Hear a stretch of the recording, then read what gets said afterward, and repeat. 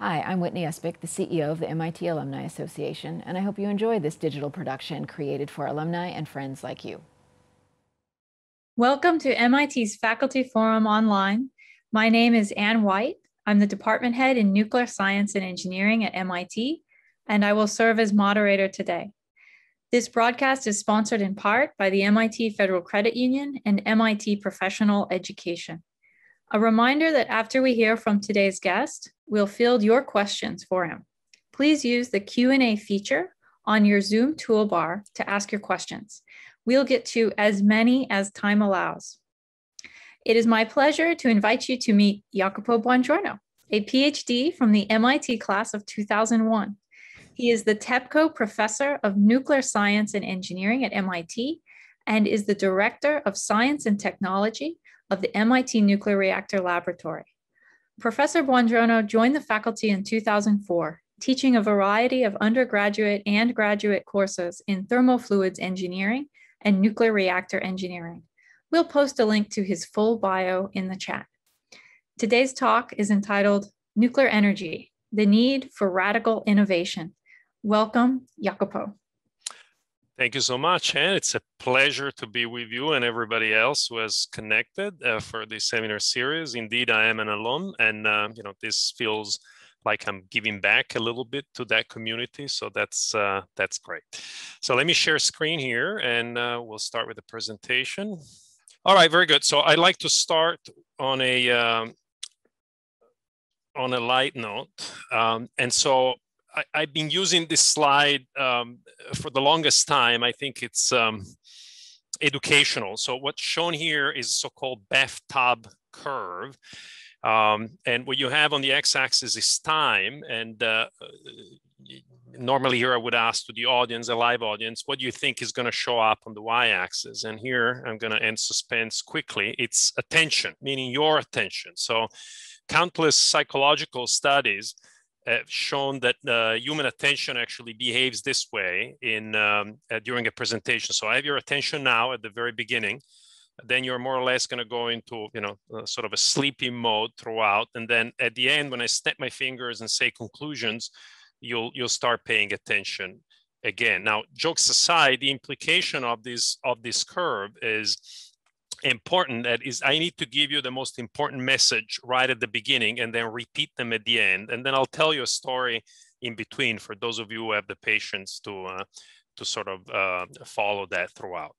So uh, with that in mind, let me start with the takeaway messages. There is essentially five of this. Uh, they won't all take up the same amount of time in my presentations, but you'll hear them throughout. Uh, first, I'll, I'll make the case that uh, if we are in the business of decarbonizing um, the energy sector in the US and worldwide, uh, it makes sense to have nuclear in that mix. And uh, you know, I'll show you why uh, quantitatively. Um, the second point is a little bit more subtle uh, throughout the presentation. there is certainly a need for radical innovation in new nuclear technology in the US and I would say Europe. However, there are other countries that have mastered the art of building uh, more or less traditional large light water reactor designs. Countries like uh, South Korea, Russia, and China. They're very efficient suppliers of traditional large nuclear power plants. And for these countries, the need for innovation is uh, much reduced compared to the US. Nuclear is viable now, will continue to be viable in, in the coming decades, whether they innovate or not, in my opinion. Um, whether it's the US or globally, there are always opportunities for reducing cost, which is a big hurdle for the deployment or I should say expansion of, of nuclear. And this may come from a combination of smaller, simpler machines, more serially manufactured in factories or shipyards. And importantly, we've been accelerated testing and licensing, so we'll spend a little bit of time there. Um, traditionally, nuclear has been confined to the electric grid, so electricity and integrated nationwide uh, grid. but in fact, it turns out the new nuclear systems can serve a very diverse portfolio of valuable activities uh, that have a big impact both from a social and economical uh, point of view. So we'll we'll talk about that. And then in passing, I'll also mentioned that by some kind of a miracle, we currently have a very strong bipartisan support for new nuclear energy um, in, in the United States. And that, of course, helps uh, with the innovation that I will uh, that I will discuss.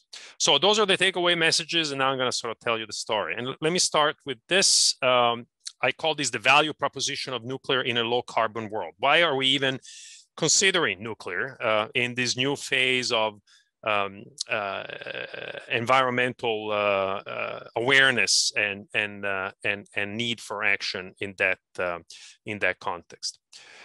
Well, first and foremost, we are considering nuclear because it is a low carbon energy technology. This question comes up often, particularly people who are not in, into this business. They ask, okay, I understand that the operation of nuclear, there is no emission of CO2, but about all the other activities that are associated with the fuel cycle or the, or the construction of the plant and the decommissioning and so on. So the uh, uh, these studies have been have been performed not just for nuclear, of course, but for every possible energy uh, source that is available out there, and they have to include everything. So these are called life cycle uh, uh, evaluations. And so for nuclear, they would include construction of the plant, mining of the fuel, uh, transportation of, uh, of materials back and forth from the site, uh, operation itself, decommissioning, waste disposal, et cetera, et cetera, et cetera. And so if you then line up all the different uh, energy technologies in terms of grams of CO2 per kilowatt hour of energy generated, it turns out that nuclear is really uh, very, very low uh, greenhouse gas emissions, uh, even when everything is, is included. You can see there at the bottom right, uh, it's basically the same level of wind and about half of solar and uh, orders of magnitude lower than, than of course, the, the fossil, uh, fossil fuels. Another big selling point for nuclear is that it's dispatchable, which means uh, you basically get your electricity or heat, your energy when you need it. Uh, there is no intermittency, and it also doesn't take up a lot of a lot of land. So more quantitatively here, a nuclear power plant typically has a capacity factor, which means the uh, uh, effective amount of energy that is generated divided by the theoretical maximum, which is about 90% or higher.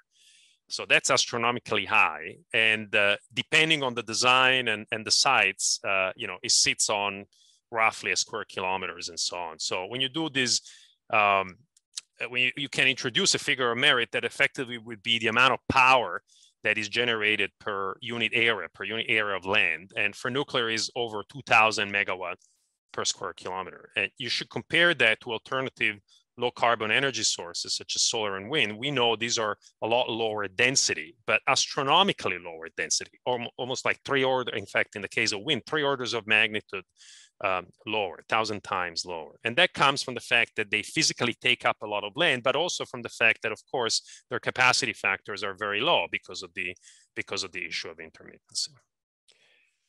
Um, so how much material is it required to build a nuclear power plant and how does that compare to other energy sources? Again, the answer here is very low material uh, per unit, uh, of course, of energy uh, generated. So this is tons per terawatt hour. And the materials used here are cement, glass, concrete, steel, and other materials. And you can see how nuclear stacks up to uh, other energy technologies. It turns out that fossil plants are also fairly material efficient in that sense. This excludes the fuel, obviously, it's just sort of the, the materials used for the construction of the plant.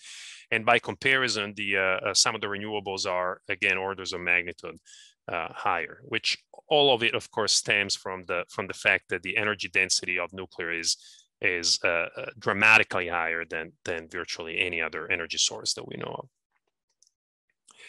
Now, waste, of course, is traditionally an issue with nuclear, and there is no denying that the longevity and toxicity of, of spent fuel certainly are concerns. Uh, I think most of the audience here will be aware that from a technical point of view, there are several solutions. Some are being implemented worldwide, uh, one in the US as well, which is dry cask, very safe and even relatively, relatively cheap. But one thing that is often lost on, on people is the uh, amount of uh, waste that uh, nuclear, particularly high level waste that uh, nuclear energy uh, produces compare again to other low carbon energy sources. These figures that are shown here come from the International Renewable Energy Agency, and they show the projected, this is projected, uh, total waste from nuclear, wind, and solar. And nuclear you can barely see there at the bottom compared to the other two.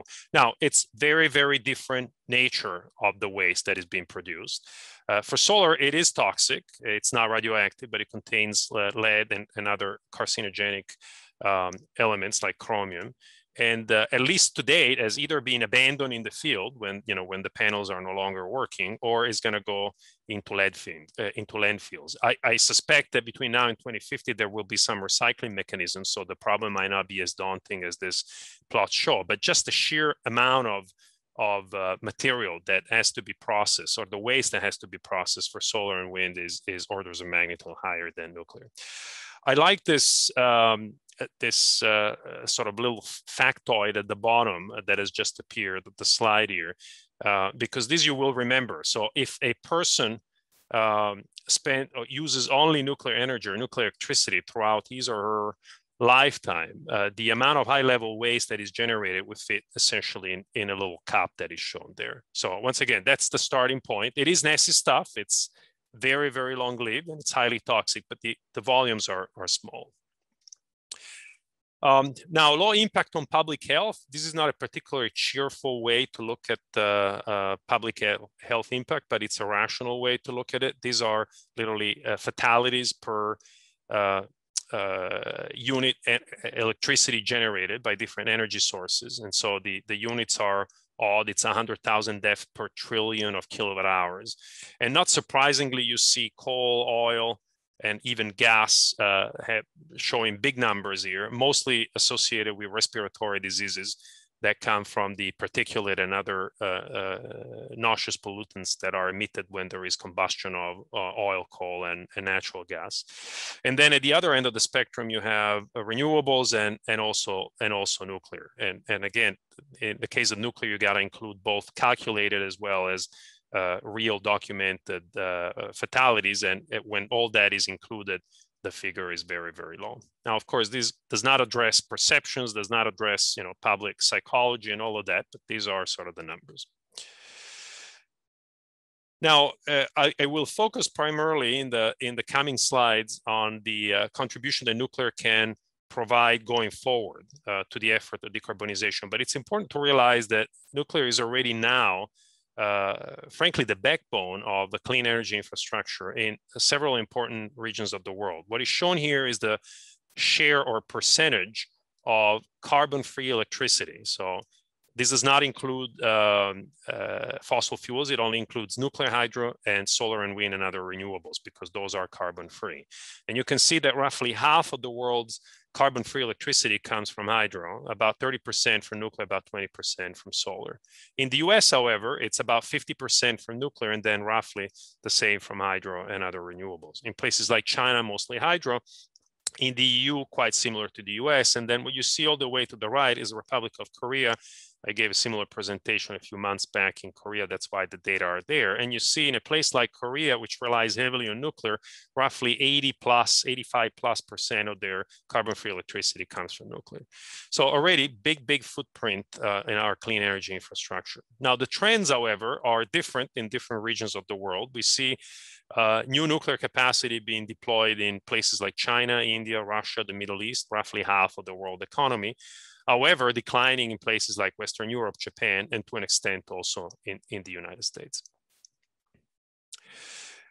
Um, in this slide, I'm going to show the uh, data for Europe. Europe is an interesting uh, experiment, if you wish, or lab, because it's, as you know, over 20 countries, uh, more or less interconnected in terms of the power grid, and each one with its own different um, energy policies. So you can do, uh, you know, one-on-one comparison to see what works and what doesn't work. Uh, the data that I'm going to show here came from a, um, uh, a study done about five years ago in, in Europe. And uh, the first plot there shows the share of uh, effectively wind and solar, so non-hydro renewables in, in Europe and over a period of one year. In that period, uh, about 20% of electricity in Europe came from wind and solar. And uh, there were six, six, countries at or above that uh, percentage. And I, I, hope you can read them there. They're Denmark, Ireland, Germany, Portugal, Spain, and Finland. By, by definition, those are countries that have heavily invested in solar and wind capacity, and they're getting about 20% or higher of their electricity from these energy sources.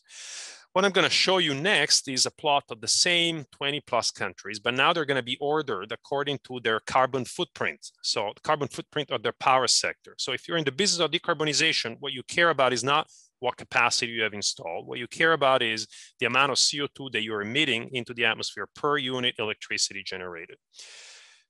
So here they are, same countries, but now ordered in uh, carbon footprint. So obviously the low number here is good and that high number here is bad. So grams of CO2 per kilowatt hour. The six countries that have the cleanest uh, energy sector, excuse me, power grid in Europe are Norway, Sweden, France, Switzerland, Finland, and Belgium. With the exception of Finland, which shows up in both groups here, the other uh, there is basically no correlation between, between these two groups. Note, by the way, that some countries that are in the first group, uh, high solar and wind, happen to be either in the uh, sort of middle bunch or even on the right end, which is you know high uh, high carbon intensity uh, in the bottom graph. And so, what do these six countries have in common? The ones in the in the green square. Well, they either have heavy hydro or heavy nuclear or a combination of both. So for example, Norway, it's almost like 100% hydro. Sweden is roughly half hydro, half nuclear. France is primarily nuclear. Switzerland, again, half and half. Uh, Finland, a lot of uh, a lot of nuclear and a little bit of biomass actually, and Belgium mostly nuclear. So this is not to say that, of course, solar and wind should not be deployed. They are being deployed in the marketplace. That's a fact. Uh, in fact, we need we need more of those. But the point is, historically, the decarbonization of the power grid in a place like Europe is actually correlated primarily with nuclear and hydro. And, uh, and, and it has worked. So I think the name of the game here is add solar and wind to nuclear and hydro, not instead of not replacing uh, nuclear, and, nuclear and hydro. That's the message. So that's the, um, the situation now. The question is, do we need nuclear to deeply decarbonize the power sector? And the emphasis here is on the word deeply. It's fairly straightforward to reduce emissions in the power sector a little bit by phasing out coal, replacing with natural gas, a little bit of renewables. The emissions come down. But if we're serious about decar deep decarbonization, we need to go to 90% reduction or even higher than that. Those, anyway, are the targets that have been set by the um, by the climatologists in order to basically uh, keep the uh, uh, rise of the temperature of the Earth to 1.5 or 2 degrees see. So at MIT, we've been doing a lot of modeling of uh, uh, the power sector in different in different regions of the world. Uh, here I'm going to show one in, in China, which is quite representative, but we looked at Europe, we look at different regions of the US. And, and what does this modeling um, uh, consist of? So it's a, uh, we take a, a, region of the world, like a country uh, or a region of the United States. And for that region, we look at the hourly uh, demand in electricity, so 8,760 entries. We look at the hourly weather patterns, which basically determine how much solar and wind you're gonna have at that particular time of, of the day throughout the year. Um, and then we have to input the cost of the different energy sources uh, the different power plants, and also how quickly they can come online and follow the load. And so the code, which is called GenX, and at this point has been validated uh, multiple times, uh, basically crunches all these numbers, all these input together, and it outputs a, an optimal generation mix, where by optimal here we mean a generation mix that minimizes the average cost of electricity in that market over the over the over the course of one year. So the figure of merit, which is shown here on the y-axis, is dollars per megawatt hour.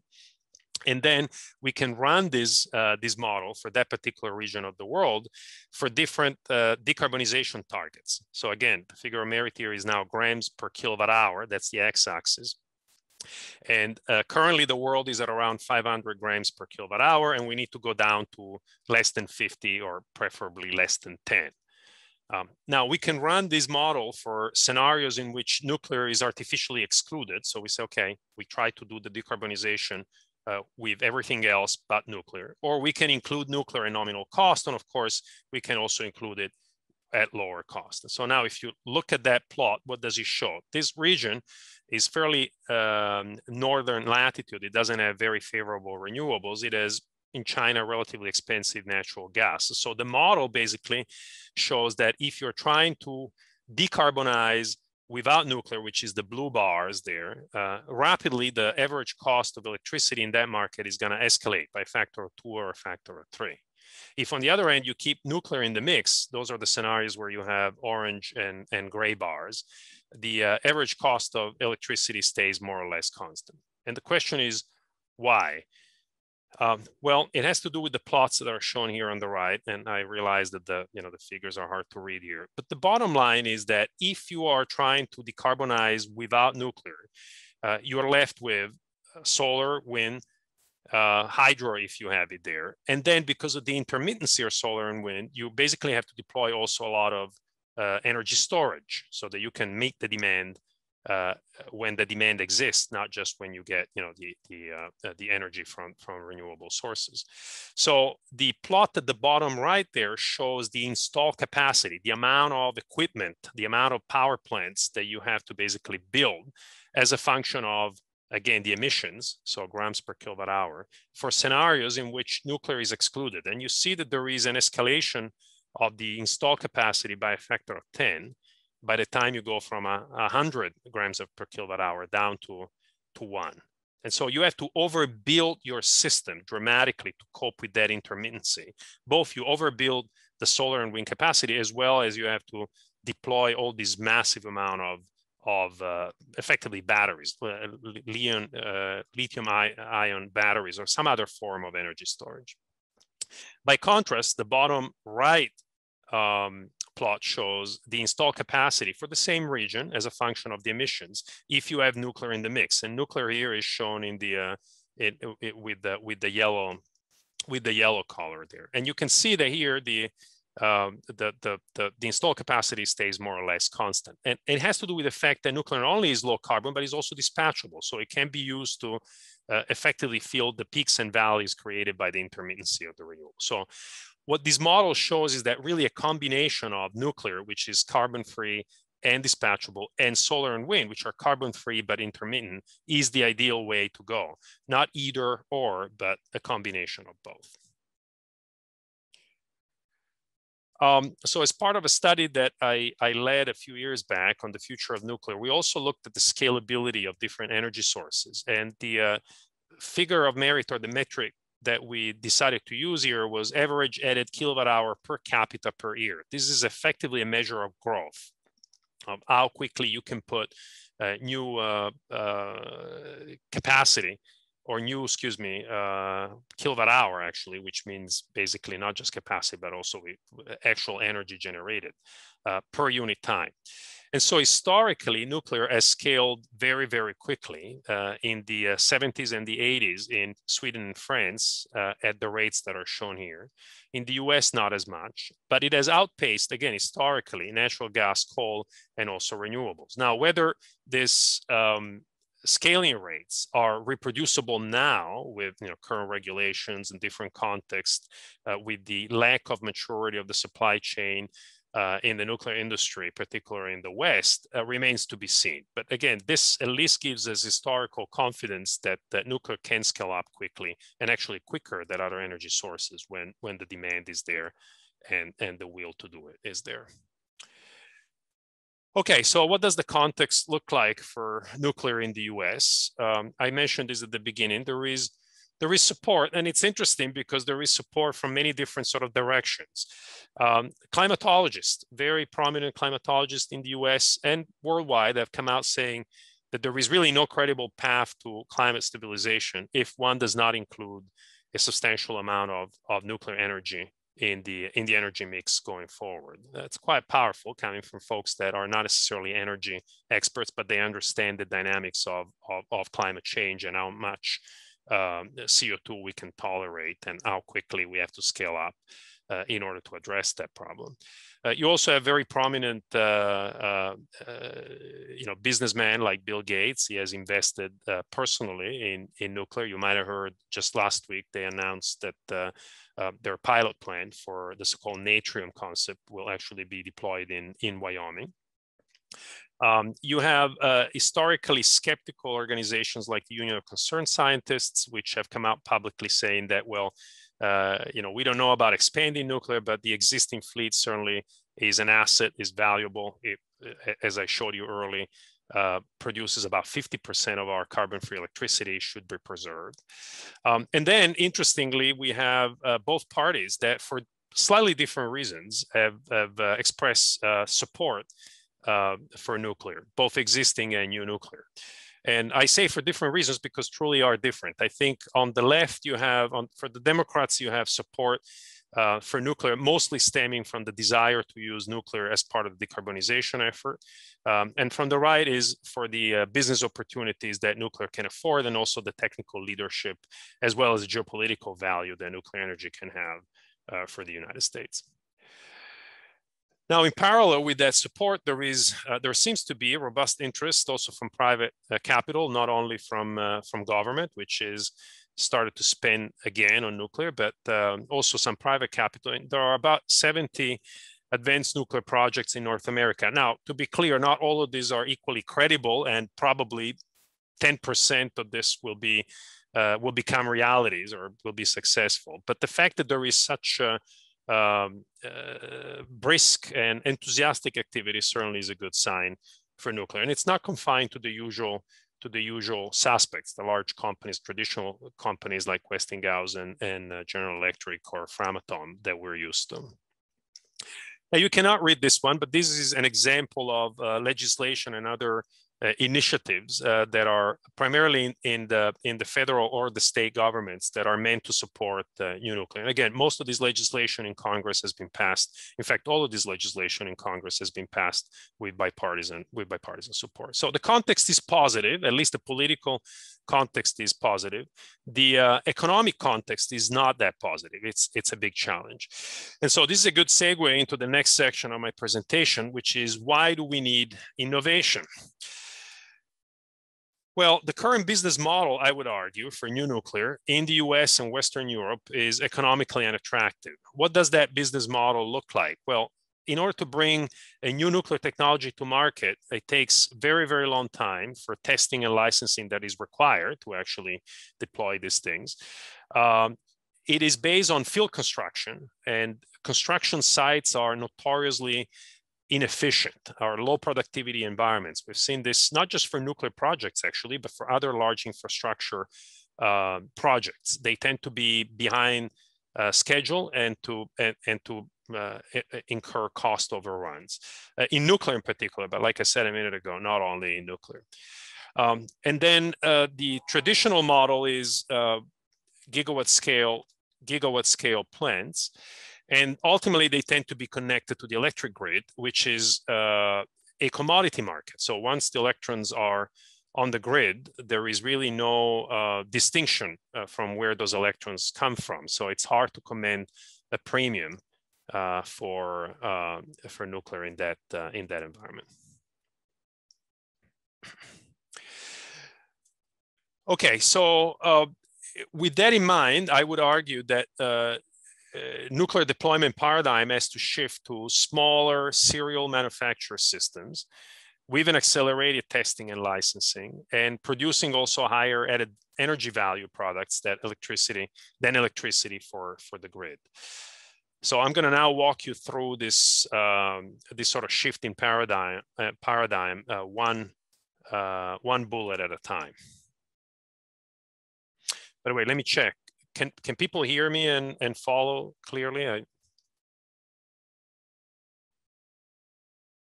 Edith and can you guys hear me? You're good, Jacopo, and okay. I've got a lot of great questions coming in that I'm collecting for you. Okay, very good. I can either pause now and take them a few or wait until the end. Um, Let's maybe... wait till the end. Okay, very good. All right, so smaller machines. I think the industry gets it in the US and uh, and to a lesser extent, maybe in, in Europe. Um, here, it's all about essentially reducing the number and scope and complexity of nuclear system structure and, and components.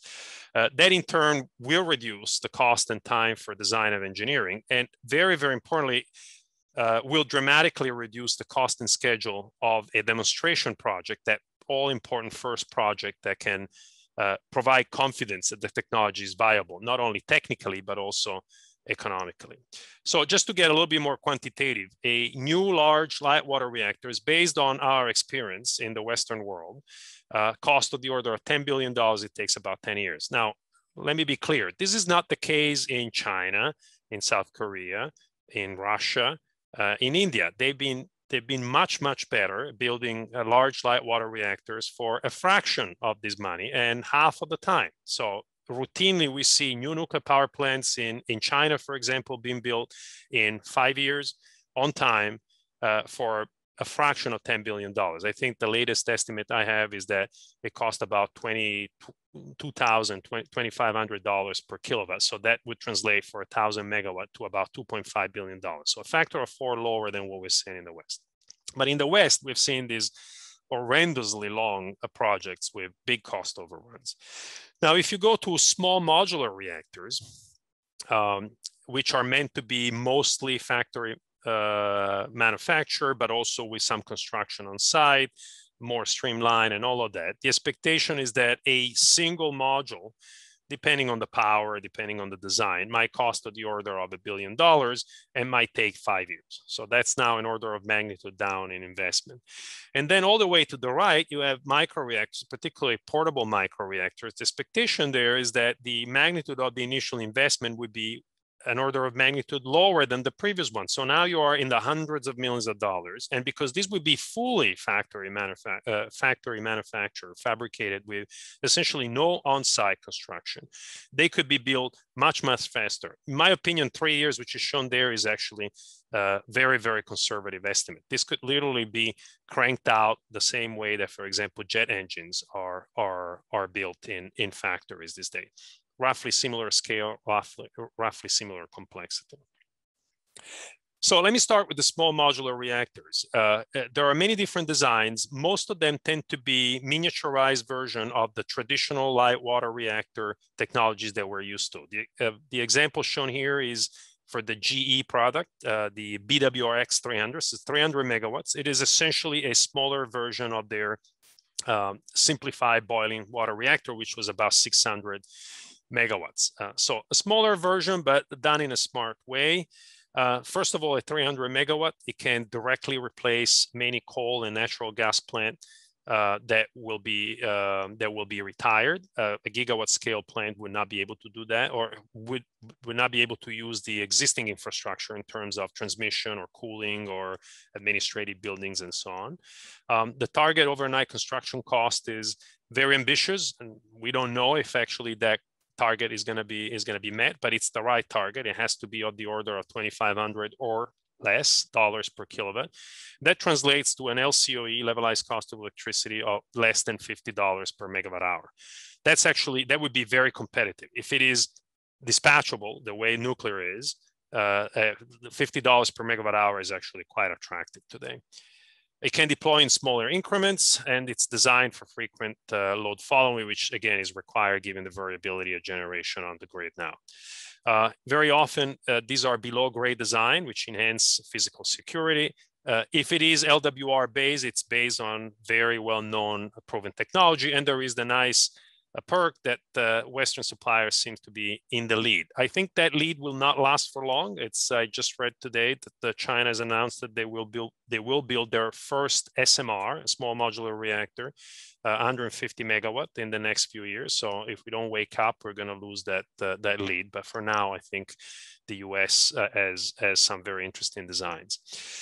Now, the innovations that can make a difference in terms of cost, I would say across all these different uh, designs, whether it's an SMR or large reactors, are shown here. First, the experience shows that standardization at multi-unit sites. So if you build the same reactor over and over again, particularly if you build it at the same site using the same workforce, uh, the cost does come down. Uh, this has been seen in recent uh, projects in Abu Dhabi, but even interestingly enough, at, at, the Vogtle site, Unit 4 is costing a lot less than Unit 3. And I'm saying interesting because certainly that, that project is not an example of you know, economically attractive project. But even with such a small sample, two units, the second unit costs less than the first unit. So build more uh, at, of the same at the same site. That seems to be a no-brainer. Um, concrete. The cost of reinforced concrete is associated with a large share of the cost of, of the site. And uh, traditional reinforced concrete uh, structures are cumbersome and multi-step processes. And there are now technologies like uh, steel plate composites or steel bricks that can reduce the uh, time and cost and labor associated with, with reinforced concrete. So those should be explored. And then interestingly, there is a uh, high productivity environment is a, is a shipyard, and it's possible to actually integrate uh, nuclear reactors in floating structures or platforms or barges and, and then being delivered in one piece essentially to a, to a, to a site. Um, and so that also has some uh, uh, some interesting economy of, of scales that can be that can be um, exploited. And finally, modular construction again in factories and shipyards can play can play a role here. So everything that shifts labor essentially from the from a construction site to a high productivity environment like factories and shipyards has the potential to reduce to reduce cost. And this is what it says here, with the additional benefits of shortening the construction schedule, which reduces the interest during construction. Um, in other industries like chemical plants or even nuclear submarines, these uh, innovations or these approaches, I should call them, have reduced uh, capital cost in the range of 10 to 50%. So this is you know, potentially very, very attractive also for, for civilian nuclear energy. Now, a little bit more extreme is um, nuclear batteries. And, and this is essentially portable micro reactors. Now you're talking about very, very small systems. You can see an example in, in, this, uh, in this slide here. So now the uh, power output, whether it's heat, electricity, or a combination of both is 20 megawatt. Of course, it's always carbon free because that's nuclear. They're being designed to be dry cool so that you're not at the mercy of you know, being next to a lake or, or, or the ocean. Um, they just use the atmosphere for, for cooling. Um, they're standardized design, entirely built in a factory. They are transported to the site in a container. Again, you can see the scale in, in, this, uh, in this image here. Uh, they're meant to be plug and play connections. So instead of taking months, let alone years, to uh, get your energy once the, the plant comes to the site or once the reactor comes to the site, you get it in days or weeks. So that's what we call plug and play. Uh, because of economic uh, reasons, it has to be essentially an autonomous or semi-autonomous machine. You cannot afford to have dozens of operators on site. And frankly, you don't need to. I mean, the work that we're doing at MIT and, and many other organizations are working on this shows that uh, systems of this size and this simplicity can be um, remotely monitored, but basically being autonomous in terms of uh, uh, not needing uh, operators on site. Um, Interestingly, the refueling here is not done on site. So the uh, customer does not have to either handle or store radioactive material inside. The refueling is done off site five, every five or 10 years. So the, the whole thing is shipped back to a central facility where it's refurbished and refueled and then reused either at the same site or a different site. So the model that we that people are exploring for these nuclear batteries is essentially a fleet model as opposed to a number of power plants that are fixed in place. You have you have a fleet of identical batteries and you just rotate them wherever wherever they're needed. Um, part of the value proposition for these nuclear batteries is once again the very very small footprint compared to alternative uh, low carbon uh, technologies. That little green rectangle that you can barely see in this in, in these images would be the size of a 10 megawatt nuclear battery and you can compare that to a wind to a to a wind uh, turbine or to a solar farm of comparable capacity once you factor in the capacity factor uh, it is even more attractive now all these reactors whether they are uh, small modular reactors or they are nuclear batteries uh, they have an exceptionally uh, robust safety profile. Uh, for nuclear safety, it's all about achieving, you know, three functions. The first is shut down the reactor uh, and keep it, uh, you know, subcritical, and then remove the, the decay heat, remove the residual heat after shutdown, and finally prevent a, a uh, radioactivity release uh, in case of an accident. And in, in the case of these advanced reactors, these three functions are achieved without any need for external intervention. And what I mean by external intervention is either an operator manually having to, act, to, to actuate any systems, or um, the need for external energy sources like uh, diesel generators or pumps. So it's all done uh, based on inherent safety attributes. The fact that, for example, very often the, the the, the coolant doesn't boil off. This would be the case for high temperature gas reactors or microreactors, or the fuel form is so robust that it can really retain the, the fission products up to extremely high temperatures, or the core has a very high thermal capacity, et cetera, et cetera. Those are what we call inherent safety attributes. And then combine that with uh, uh safety engineer safety systems that are passive. And therefore, again, they don't need you know, external energy sources to function. The implication of the safety approach is that accidents uh, categories or accident categories like TMI, Chernobyl, and Fukushima are essentially eliminated by design. They, they almost physically cannot happen in this system. And the second very, very important uh, um, implication or consequence is there, the emergency planning zone with the associated evacuation plan and all of that is limited to site boundaries. So effectively population living near these uh, these new plants would not have to be evacuated should there be a uh, should there be an accident. That's I think very very important for the social acceptability of of new nuclear as well as um, important uh, economic implications because emergency planning does cost money even when it's not used.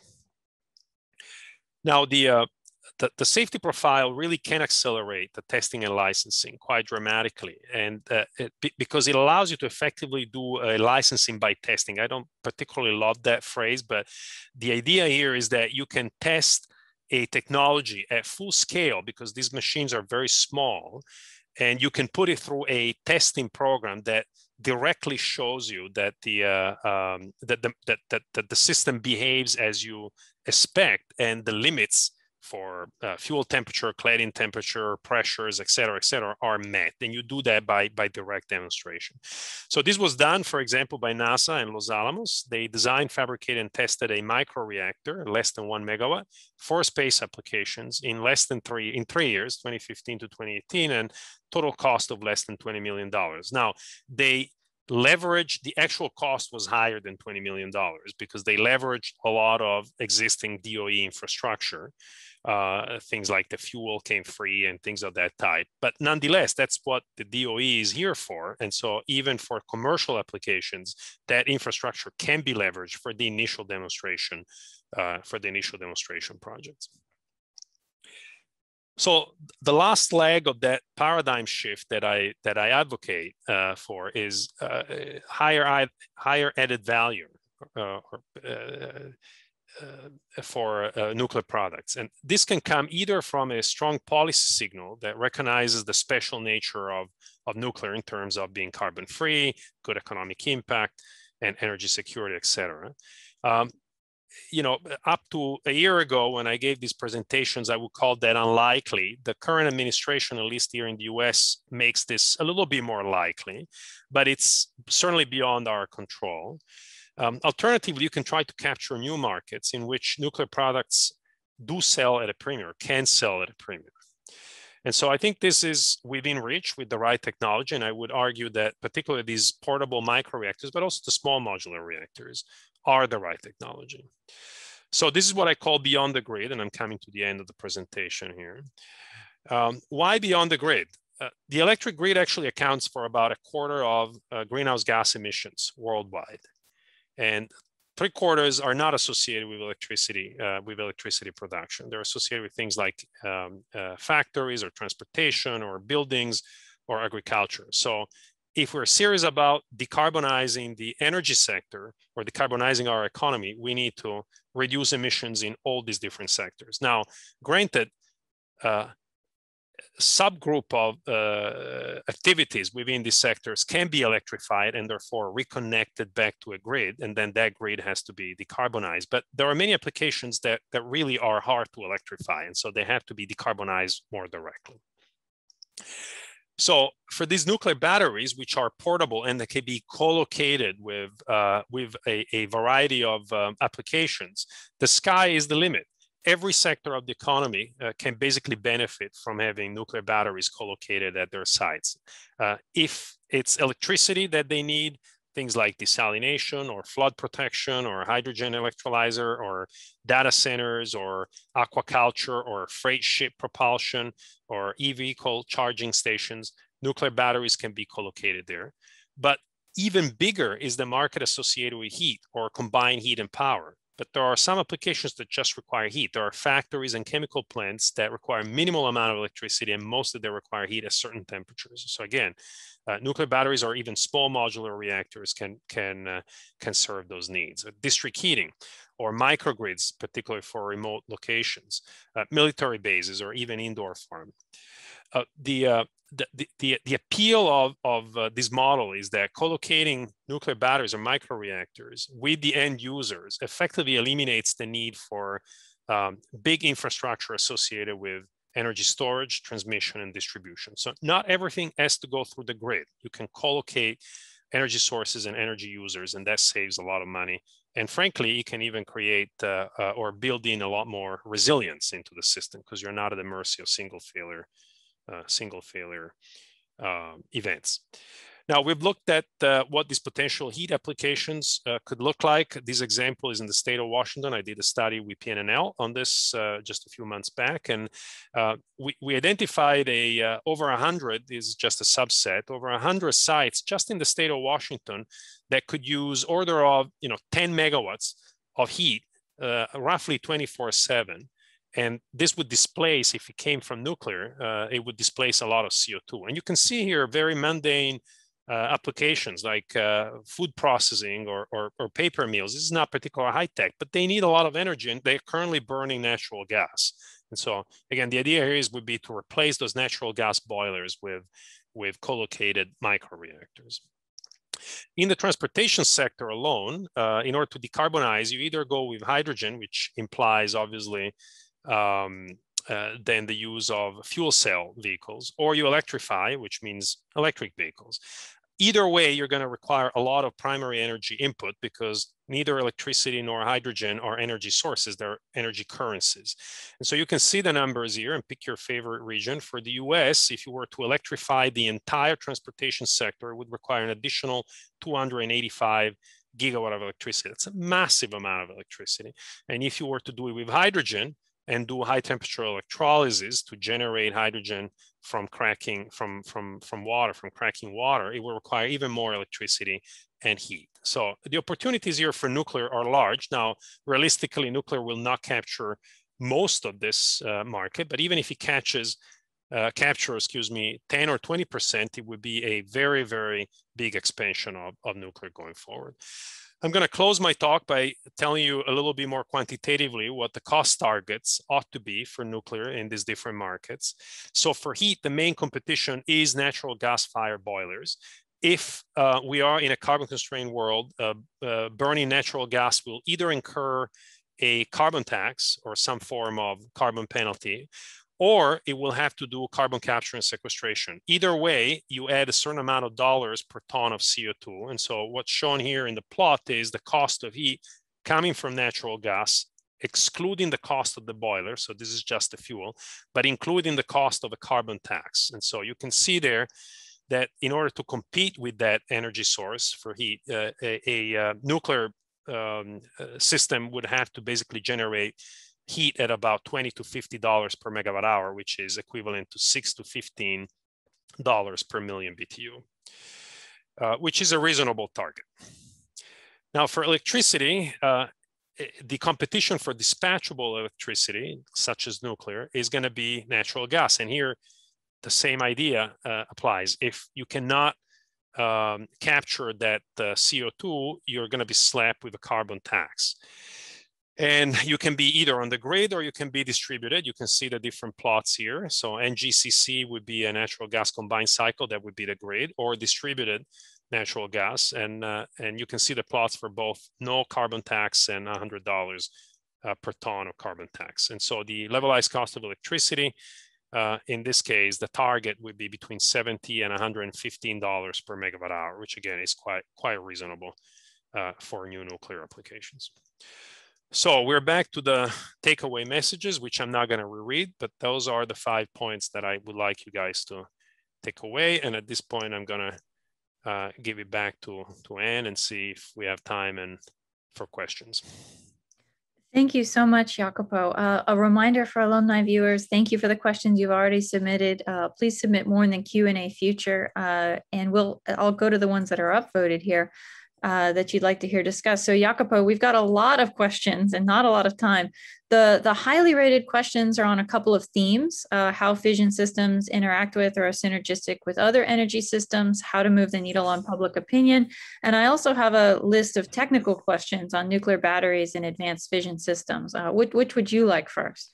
Well, let's go in the order you mentioned them. So how do they integrate with other energy systems? Uh, very well. In fact, uh, one of the slides I show you where we did that modeling, uh, and I show you a region of China for which we did that modeling, the Gen X modeling, uh, that actually um, uh, uh, shows that the best approach to decarbonize is to have both nuclear and renewables. And it's done in a way that really looks at the hourly variation of demand and generation. And so it takes into account the fact that at times when there is a very, very high generation of say solar and wind because the weather is favorable nuclear would have to follow the load and that's all within the uh, you know uh, the uh, acceptable technical specs for both existing nuclear power plants and even more for new nuclear power plants which are designed with those load following capabilities in mind. So I think they can be integrated very easily. Also, our colleague here in, uh, in NSE, Charles Forsberg, has been working a lot in terms of uh, what he calls hybrid systems, which is exactly the integration of nuclear with solar and wind. Now, with industrial activities, maybe located geographically in a certain region, and seeing how you can leverage you know high cost low cost of electricity and dispatchability versus intermittency to realize an economically optimum uh, uh, mix. No thank you for that. And so in addition to complementing renewables um, storage systems become important. Batteries or hydrogen fuel cells uh, can you quickly comment on on the role fission plays uh, together with those storage systems yeah, so I, I, I personally think that the best storage medium is uh, is or the best way to store energy is not to store it as electricity because batteries cost a lot of money, although their their cost is coming down. But you know, even optimistic uh, uh, estimates are still much higher than the alternative, which is heat. So I think uh, that the best way to store energy in an integrated system is to store it as heat. And, and that favors nuclear, frankly, because, well, nuclear reactors are heat sources. So to the extent that you can deploy a, uh, um, a, a, series of tanks of a, uh, a, thermal fluid next to the reactor, and that can uh, uh, basically allow you to store energy and then dispatch it uh, to the grid while operating the um, the reactor always at 100% power. In fact, this scheme that I've just described is uh, is the TerraPower Natrium uh, approach, and so that's exactly what they're going to do. They have a reactor that operates always at 100% power, but instead of generating directly electricity, dumps that energy, that heat into a, uh, a thermal storage system, and then that thermal storage system is coupled with a power conversion cycle that provides electricity to the grid on demand. So, uh, so it, it, it, works it works very well in that sense. There are other folks that are looking also at using, as you said, in uh, hydrogen and uh, um, you didn't say, but I'm going to say maybe synthetic fuels, other fuels production as a way to store energy. And I like that scheme as well, but people have to keep in mind that uh, the uh, plants that actually generate or that produce hydrogen or those synthetic fuels are high capital cost, which means they also should be operated 100% of the time continuously. And if you have an energy source that, uh, an energy input that is uh, varied because of other economic considerations, then the economics of hydrogen generation or synthetic fuel generation would suffer. So, so it's not trivial to come up with the optimum there, but that's a very, very, uh, very good question. Right. And the last question in this theme that was also very highly voted um, has to do with trade-offs or interplay between nuclear fission and fusion. Should fusion have a breakout in the next 10 years as proven and deployable? Yeah, so I, obviously, the more tools we have in the toolkit, the better. I, I, I hope this message came across clearly. It's not an either or; it's an end-end game. You want to push on every every technology that can get you to the finish line, and so to the extent that Fusion can contribute within you know within within the time that is required that, that would be a very very welcome uh, addition you know we we know that fusion has some uh, uh, characteristics that make it uh, more attractive certainly more socially acceptable than than fission. And so again if you know if that technology is demonstrated i think it will be a natural addition to the uh, you know to, to, to the market here that's a great segue to the next series of very highly rated uh, questions and comments in the chat here from our alumni, which is what's your opinion on how we move the needle on public opinion uh, for fission nuclear energy? There's still a lot of strong public suspicion and issue of not in my backyard. Um, how, where do you think we go from here? Yeah, first of all, let me say this is the big question, right? I mean, we can solve as engineers, we can solve technical issues a lot simpler than solving perceptions and and uh, engaging with the public. Uh, in fact, I, I, I even read research that uh, claims that uh, uh, you know the way our brain, engineers and scientists' brain is wired, is inherently counter uh, to uh, efficiency and effectiveness in communicating and engaging with uh, with vast majority of the population.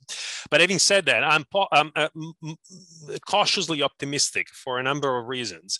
Uh, from a technical point of view, the technologies are becoming a lot more robust, and that's certainly good news. You know, you can tell people with a straight face, hey, you know, an accident like Fukushima, an accident like Chernobyl, an accident like TMI uh, cannot happen or is much less likely to happen. However, that approach typically doesn't cut it in the public debate. And, and what you really need is, um, is a different engagement uh, approach. And so uh, people tend to uh, uh, communicate well or engage well when there is shared values, when there is trust. And so what we need to create is trust. And so that means not just the message, but the messengers have to change uh, fewer folks from uh, from industry or even from academia, more from uh, you know uh, the workers from the plants uh, or more environmentalists. I think the messengers matter really, really a lot here. And so hearing from folks like that, uh, that nuclear is needed, particularly pushing the value proposition, not starting the conversation always from, oh, let me explain how safe nuclear is, or let me tell you that waste is not a problem. No, you should always start with the value proposition. Why are we even messing with this technology? It's just why I started my presentation telling you, you know, all the wonderful things that we can do with nuclear. And then obviously we need to address the issue. So I'm not sure I'm giving a coherent answer here. It's certainly a very tough problem, but um, it's a combination of new technologies. They look different. You know, if you think about these nuclear batteries, they look different, they feel different. That might be uh, a, a good conversation opener, but then it has to be built on, on shared values and trust.